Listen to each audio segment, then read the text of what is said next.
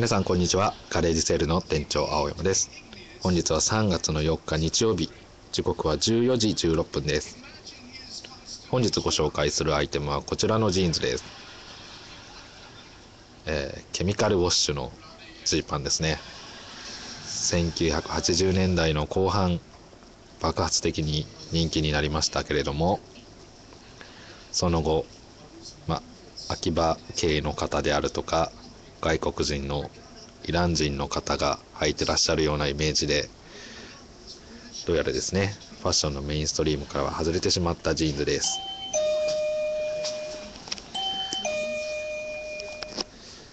これを見てですねちょっと恥ずかしいと感じる方は1980年代の後半実際にリアルタイムで履いていた方のでなのではないかと思います。今また新鮮な印象で若い方には受け入れられていると思いますのでお値段もね非常に1900円から2800円と安くお出ししてますのでお店の方でご覧になってください。それでは本日は以上になります。失礼いたします。